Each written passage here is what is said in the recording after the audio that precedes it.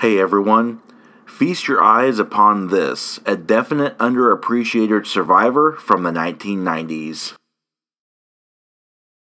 For the longest time since I have been doing this channel, and since I've started reviewing older surviving cars, the Aerostar was one of the ones I've been waiting to film for a long time. The sad reality of it is, there just aren't a lot of them around anymore in really nice shape. Rust or fire was the main cause of their extinction, but also they were simply bought and used as they were intended, a family or cargo hauler, and they slowly disappeared off the roads. Aerostar production was from 1985 to 1997 and ran for a single generation. The first Aerostar rolled off the assembly line in June 15, 1985. Production ran all the way from August 22, 1997, and produced solely at the St. Louis Assembly Plant in Hazelwood, Missouri. The Aerostar plant produced 2,029,577 vans in total and ultimately passed the baton to its successor, the Ford Windstar, a full unibody front wheel drive minivan. Our van was produced in March of 1994.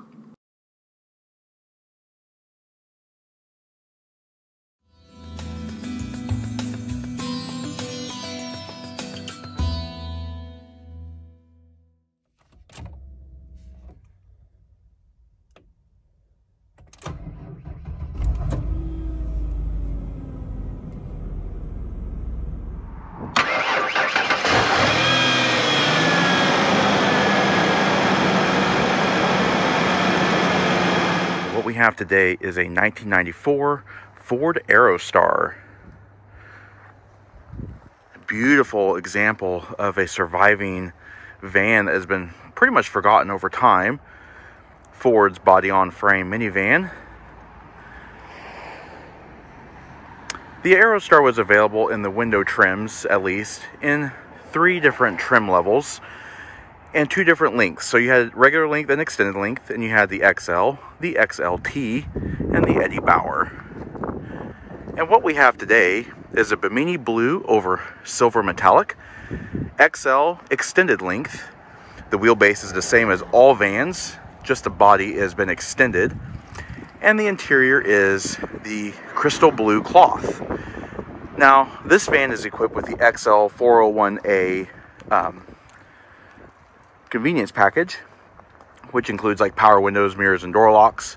We've also got the sport package, which gives you these body color headlamp surrounds, grill, the lower body clad, cladding in silver.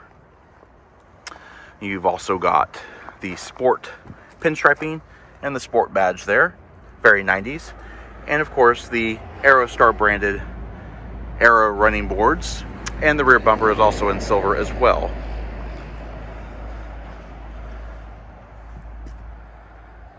This van is also equipped with the optional luggage rack. I'll have the full pricing on screen, and I'll put a full options list in the description box below so you can kind of see what the when new pricing was. Say before, Bimini blue over silver metallic with the crystal blue cloth interior.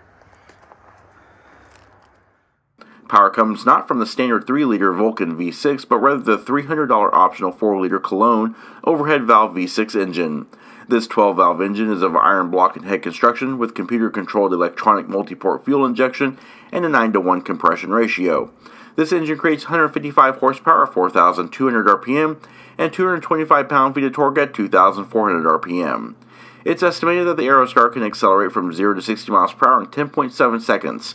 But more importantly, especially for this segment, thanks to its unique mixture of unibody construction and folding frame rails and rear wheel drive architecture, the Aerostar features a gross vehicle weight rating of 5,320 pounds. It can tow up to 4,800 pounds and haul a maximum payload of 1,530 pounds. Very impressive.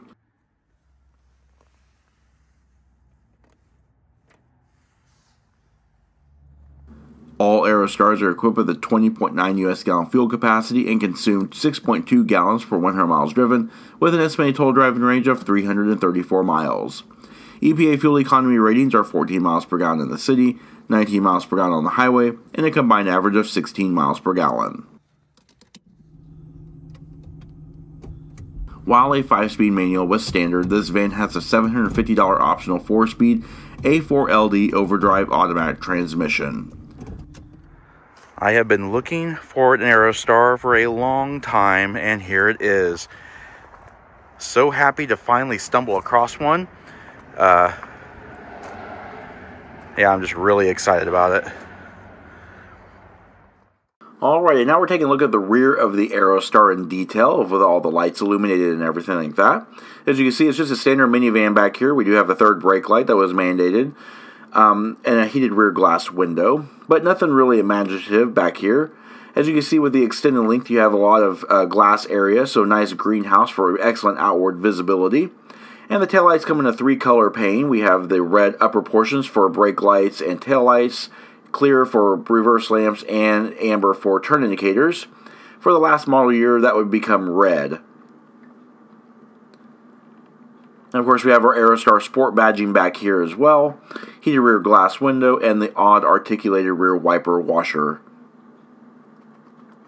And of course, back here we do have all of our badging and everything like that, and the pinstriping for the Ford Sport as we walk along the profile of the van. As you can see, it just has the dry or the passenger side sliding door.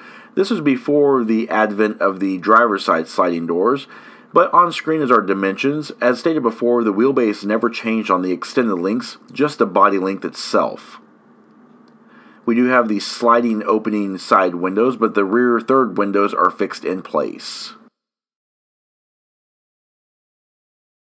Steering is hydraulically assisted variable rate rack and pinion with 4 turns lock to lock and a 42.3 foot turning radius. Wheels are the 14 by 6 inch black painted stamped steel wheels with silver silver aero covers shot in 205/70 R14 Hankook Optimo H274 all season tires. Brakes are hydraulically assisted front disc rear drums with ABS in the rear only. Alright, taking a look at the front of the Aerostar, here we are with all of its lights illuminated. As you can see here, we just have comp composite halogen headlamps inside these uh, clear lenses, and we also have incandescent turn indicators. One of the nice features of the power mirrors is you get these really nice fold-away aero mirrors. You also have these really nice fixed-in-place wing windows to give better outward visibility. And as we move along the steeply raked hood line, we come into the body color grille and headlamp surround that is found on the Sport Group. Kind of gives it that uh, Explorer meets doorstop look, but it does look good with the body color grille and silver accents. Alrighty, let's take a look inside. And inside is just a wonderful example of a nice surviving 90s Ford van that probably should never have survived, but it did. These things were used as family vehicles, and so, uh, you know, as a result, they got trashed. Taking a look at the door panels here, very nice shape. Got this blue vinyl door pulls right here. You also have your power mirror controls here. We've also got power windows and power door locks. You will note the absence of door speakers. There's no map pockets or anything like that. The doors are very plain Jane, actually. And taking a look at the instrument panel here real quick, we have our headlamp control switch. You can also turn on the dome light, instrument panel dim, air vent right here, multifunction stalk here, tilt wheel. Down here you have your hood release, and of course just the gas and brake pedal. And taking a look at the seats. The seats are in very nice shape. They are very comfortable and very supportive high back bucket seats. They do have the Halo style headrest and this vehicle is actually equipped with the full bench seats in the back. But if you had the captain's chairs, these seats would also appear in the middle row. You have two type, types of cloth here. You have this nice velour cloth here, and then you have this more uh, denim or jean style cloth here to give kind of nice contrast. And of course, both the front and pa front passenger and driver have their own armrest.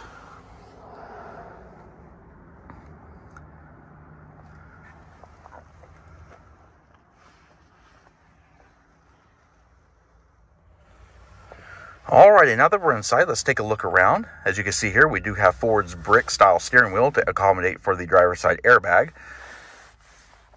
We have the horn buttons up here and our cruise controls on and off over here on the left.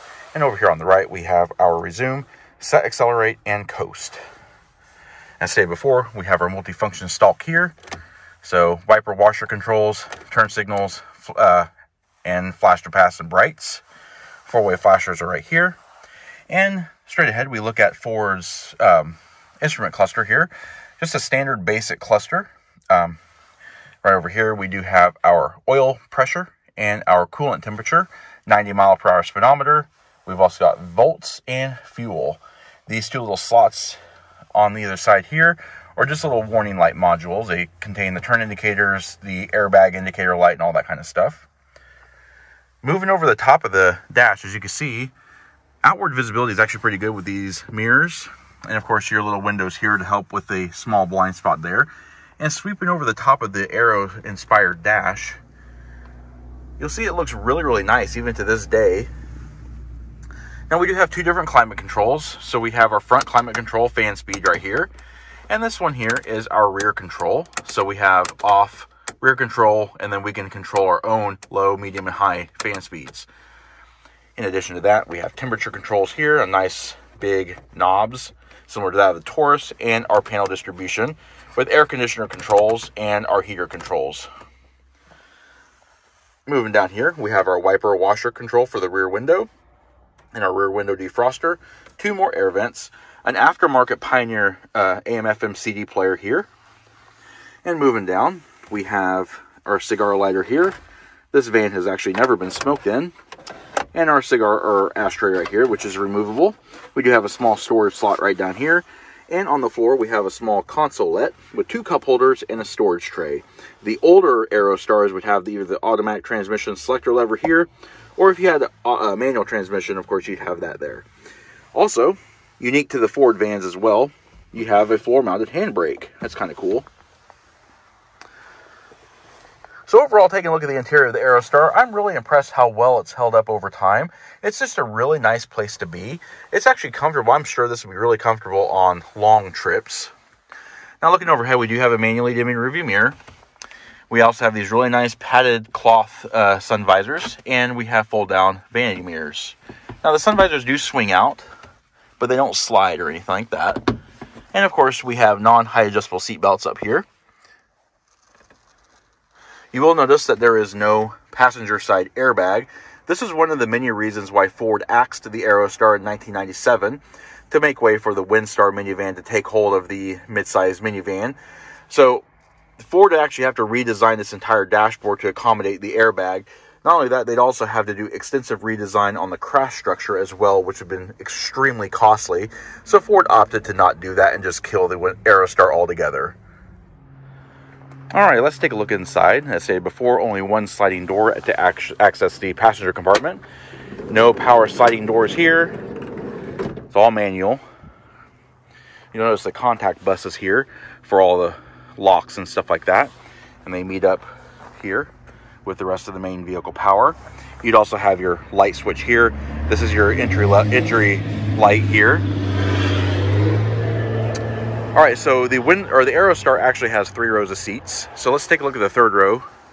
As you can see, it does seat three across. It is just a single folding bench seat. It's also fully removable. The outboard seats have three-point shoulder belts. The middle seat has just a lap belt. And the seat's nice and wide. You have a lot of legroom back here. You've also got adjustable floor vents. You have stereo speakers back here. You've also got some storage, adjustable air vents in that little uh, C-pillar trim there. Now over on this side, however, you don't get all that kind of luxury.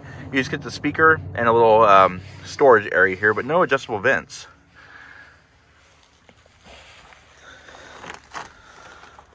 All right, let's take a quick look at the middle row seat now. As you can see, this one actually just seats two. Each seat gets its own three-point belt. Outboard seat gets an adjustable armrest. This seat also removes. One neat feature back here is you have, for the kids, cigar lighter and ashtray. This car is also equipped with the sound system. So we've got auxiliary controls back here. We have two headphone jacks with their own individual volumes, seek and scan, memory select, and speaker select. You've also got rear fan speed controllers back here, but no temperature control. And of course, your sliding window.